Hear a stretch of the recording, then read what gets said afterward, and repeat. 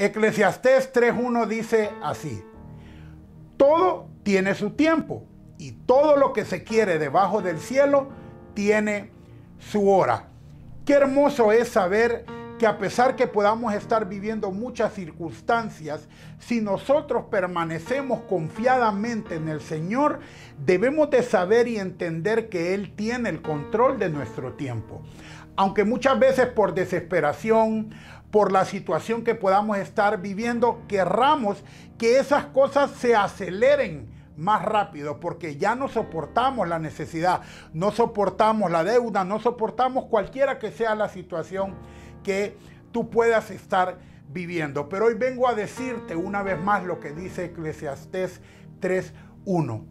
Todo tiene su tiempo y todo lo que hemos pedido debajo del cielo tiene su hora.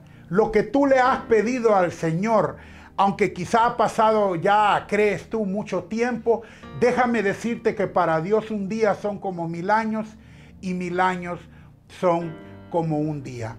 Y lo más hermoso es que yo te puedo testificar y es que debes de saber que cuando las cosas llegan en el tiempo y en la voluntad del Señor es cuando más uno las valora y las disfruta y uno dice, wow, si yo hubiera alcanzado o yo hubiera recibido esto antes, realmente yo no lo hubiera valorado.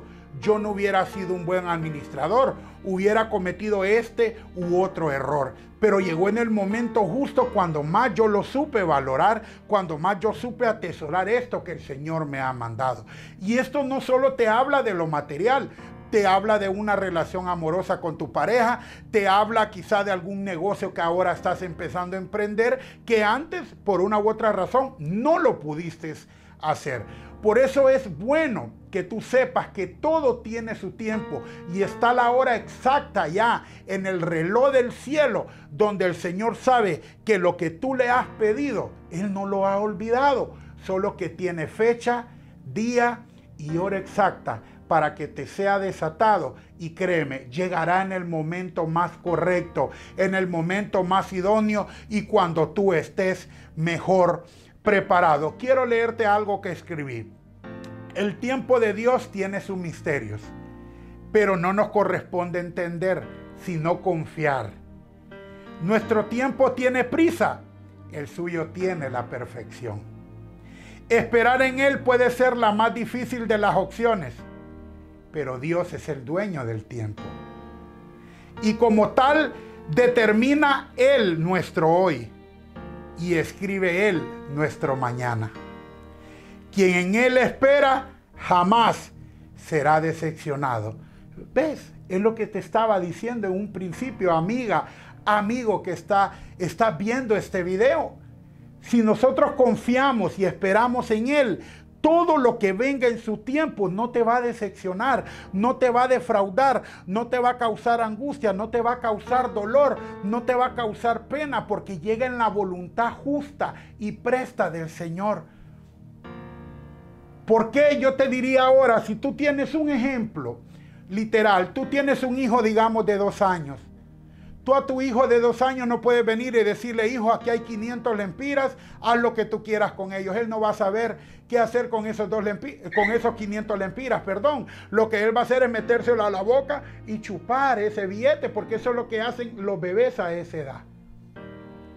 Por eso debes de entender que cada proceso en nuestra vida llega en el momento justo e idóneo por muy dura que sea la prueba, por muy difícil que sean las circunstancias que estés pasando, déjame decirte que aún de las situaciones que vienen a nuestra vida, Dios sabe que somos capaces de poderlas vencer, porque Dios no te va a dar Dios no te va a dar una batalla que tú no puedas conquistar. Dios no te va a dar para pelear una guerra que tú no puedas vencer.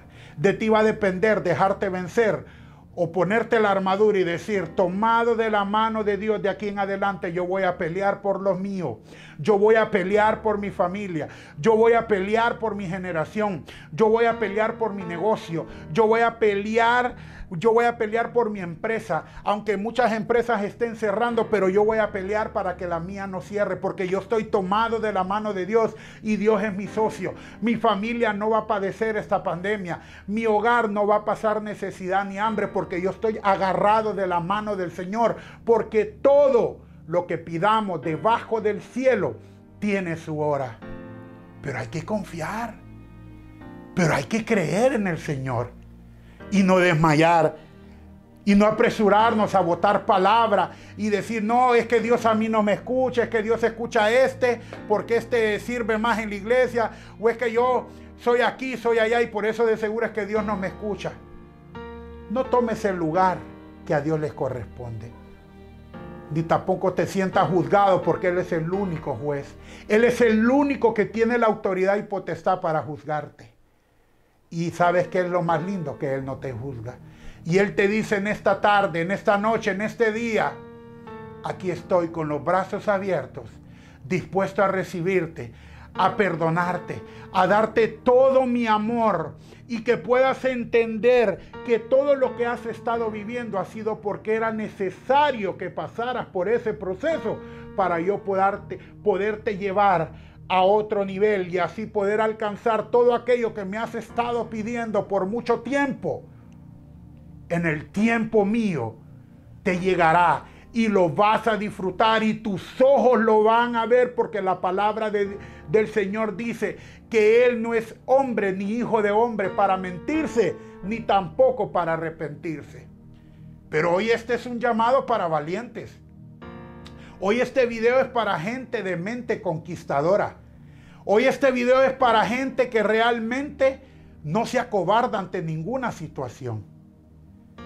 Y hoy este video es para gente que le cree al Señor y que hoy dice, pase lo que pase, venga lo que venga, yo me tomo de la mano del Señor y aunque se levanten tormentas, aunque ruja el mar, yo voy a estar confiado en el Señor porque su palabra dice en Eclesiastés 3.1, todo tiene su tiempo y todo lo que se pida debajo del cielo tiene su hora. No te rindas.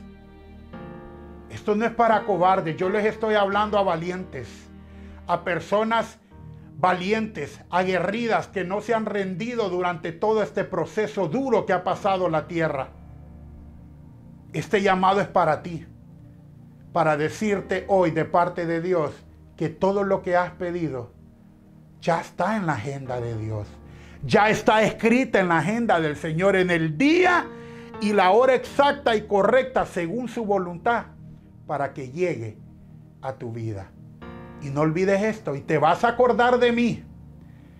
Cuando llegue ese momento, tú lo vas a decir, porque yo lo he vivido. Y lo vas a decir, realmente valió la espera. Cada día, cada minuto, cada mes, cada año que yo esperé por esto, porque llegó en el momento más justo. Porque sabe, Dios siempre llega a tiempo porque Él es el tiempo, Él es el dueño de los tiempos.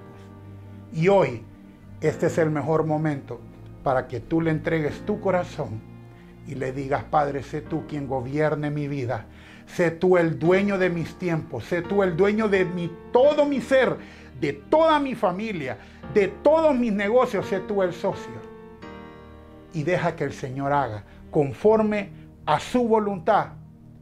Y te lo digo, te vas a sorprender. Y no te olvides, hermano y hermana que estás viendo este video, que al que cree, todo le es posible. Que Dios te bendiga.